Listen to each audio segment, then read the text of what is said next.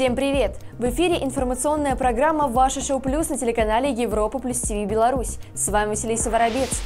В связи с логистическими проблемами концерт Григория Лепса, запланированный к проведению 25 февраля в 19.00, переносится на 28 февраля в 20.00.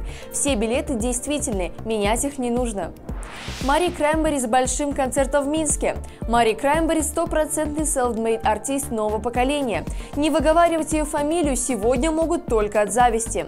За последние пару лет молодая, но дерзкая Мари сумела поломать все возможные стереотипы, доказав, что понятие «формат» просто отсутствует, если ты честен в первую очередь самим собой. 8 марта 2024 года, Дворец спорта.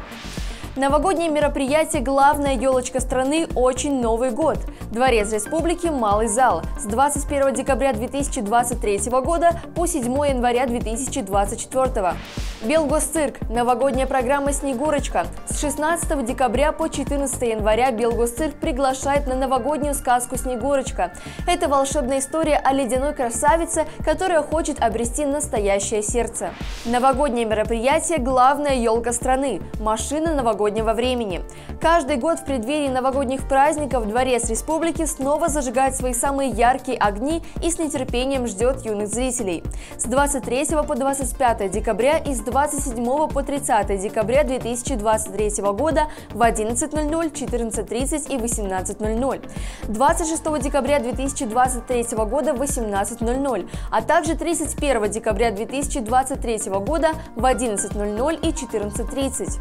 1 января января 2024 года в 17.00, со 2 по 5 января 2024 года в 11.00, 14.30 и 18.00. С вами была Василиса Воробец с информацией о предстоящих концертах. С вами по-прежнему Василиса Воробец и прогноз погоды по Беларуси с 10 по 17 декабря. Если верить прогнозу, большинство дней будут с показателем в 1-7 градусов ниже нуля. А иногда в некоторых регионах температура воздуха и вовсе будет положительной. В последующей неделе столбики термометров, согласно прогнозу, редко будут опускаться ниже отметки в минус 3 градуса. С 10 по 17 декабря днем в среднем минус 5 градусов, ночью минус 9. Большую часть недели преимущественно пасмурно. В Минске днем в среднем минус 2, минус 7, ночью от минус 4 до минус 9. В течение недели пасмурно, небольшой снег. В Гомеле днем в среднем минус 1, минус 2, ночью от минус 2 до минус 4. В течение недели пасмурно, небольшой снег. В Гродно в течение недели днем в среднем 0 плюс 2, ночью от плюс 1 до минус 1. В течение недели пасмурно, небольшой снег. В Могилеве днем в среднем минус 3, минус 7, ночью от минус 3 до минус 6. В течение недели пасмурно, небольшой снег. В Витебске в течение недели днем в среднем минус 3, минус 6, ночью от минус 5 до минус 8. В течение недели пасмурно, небольшой снег. В Бресте днем в среднем плюс 1, плюс 2, ночью от 0 до плюс 1. В течение недели пасмурно, небольшой снег. С вами была Василиса Воробец. Хорошей погоды вам и удачной недели!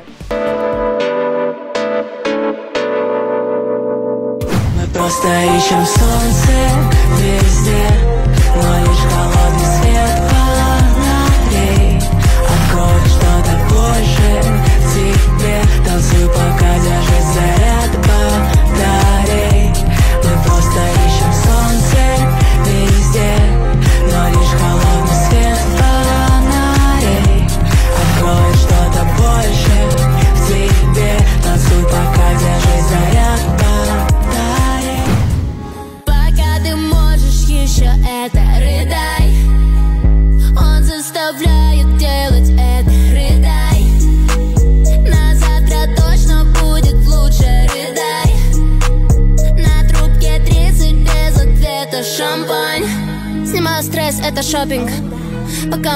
заблочил карту.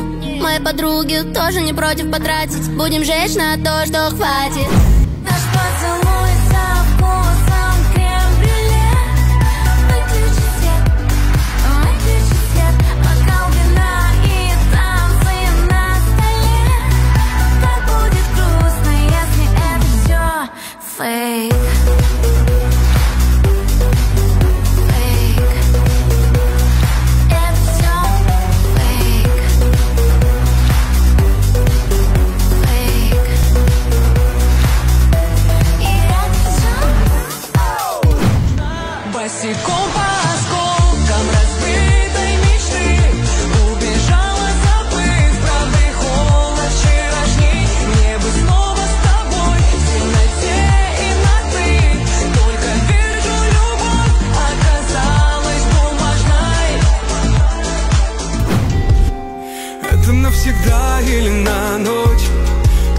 чтобы убить или помочь Это поцелуй или выстрел?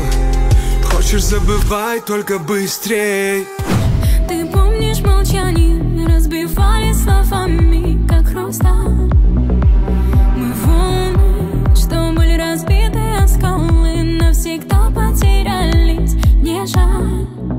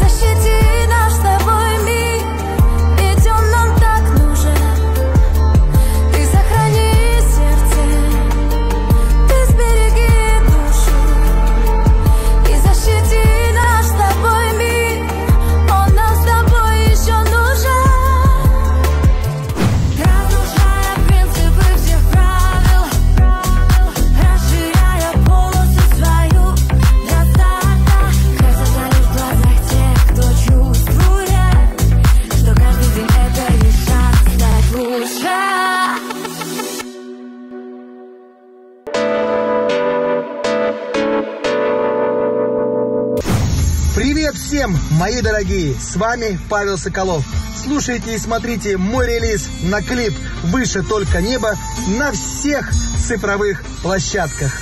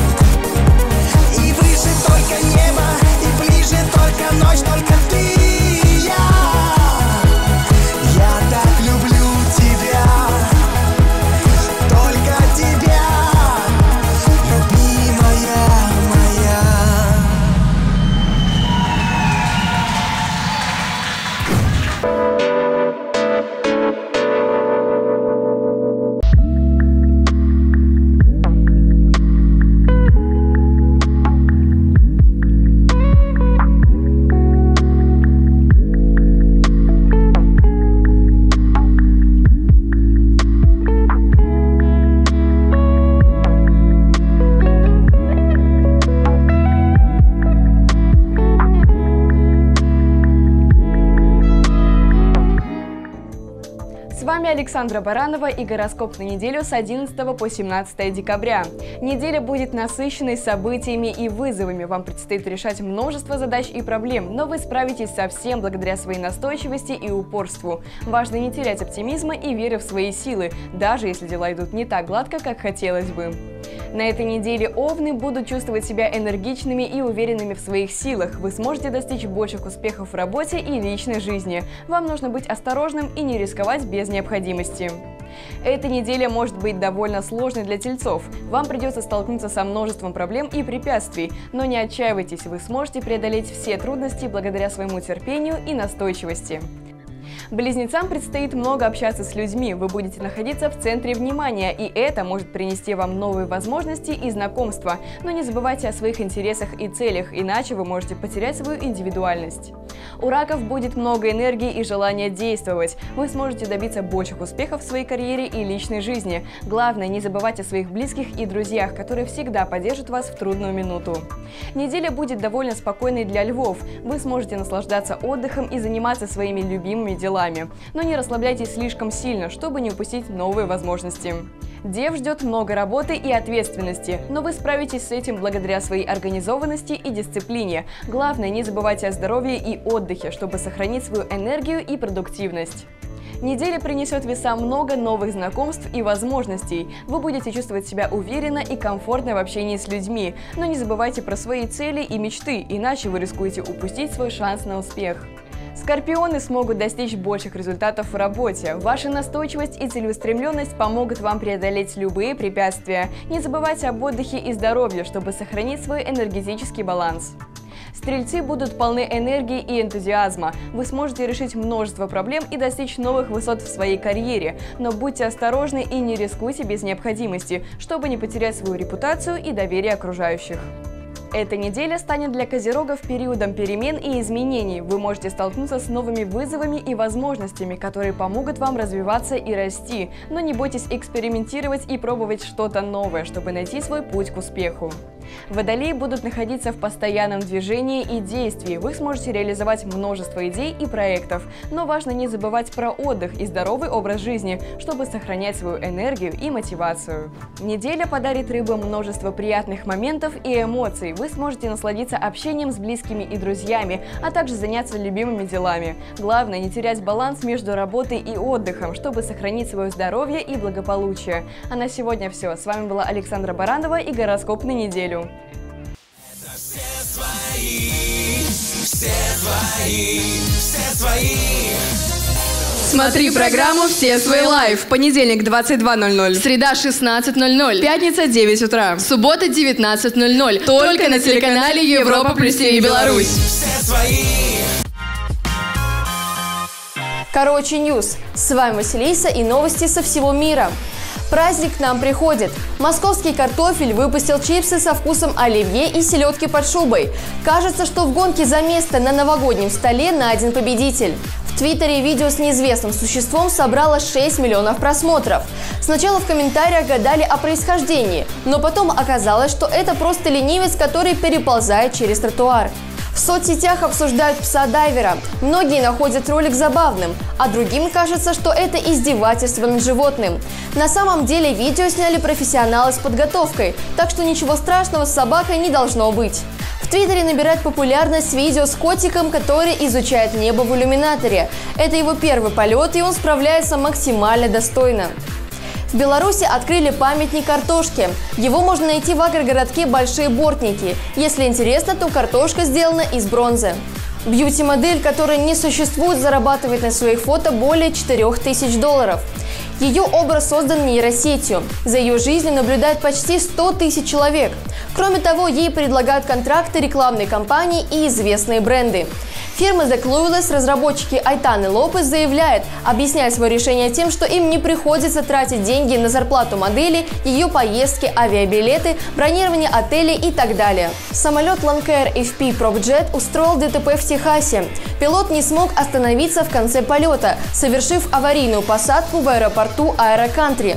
В результате пролетел через ограждение и столкнулся с проезжающим мимо автомобилем. В результате никто не погиб. Участники необычного ДТП получили только легкие травмы. Дайверы засняли мощное землетрясение под водой. Это мог быть один из тысячи однотипных роликов с коралловыми рифами, но природа решила устроить шоу посерьезнее. Недавно в районе Индонезии произошли мощные толчки магнитудой 7,2 балла. Эпицентр оказался посреди океана, так что обошлось без жертв. Китайские умельцы придумали одежду с надувным шлемом и подушками безопасности, которые раскрываются при падении и спасают человека от травм. Стримерша из Китая наторговала ширпотреба на 18 миллионов долларов всего за неделю. Фишка в том, что она показывает вещь всего на одну секунду. Коробка товара дизайном напоминает упаковку Hermes. В ТикТоке завирусилось видео тюленя с очень грустными глазами, который просто сидел в воде и меланхолично смотрел на людей. На Филиппинах компания по производству матрасов устроила крупнейшее в мире человеческое домино, попав в Книгу рекордов Гиннесса и заодно отметив свой юбилей. В авантюре приняли участие 2355 сотрудников компании. Утка Морщинка в третий раз пробежала Нью-Йоркский марафон и получила медаль.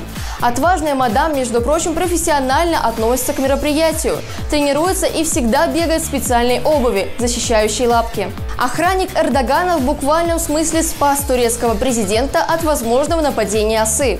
В соцсетях обсуждают молниеносную реакцию телохранителя, который разглядел севшее на пиджак насекомое и мгновенно его нейтрализовал. В Индии фанаты запустили мощный фейерверк в кинотеатре после появления на экране звезды Болливуда Салмана Хана. Противопожарная безопасность вышла из чата. Уникальное видео удалось сделать американке в заливе Монтерей в Калифорнии, когда акула устроила охоту на большого морского льва. Но все пошло не по плану. Лев подбросил хищницу над водой, вырвал ей часть челюсти и съел кусок.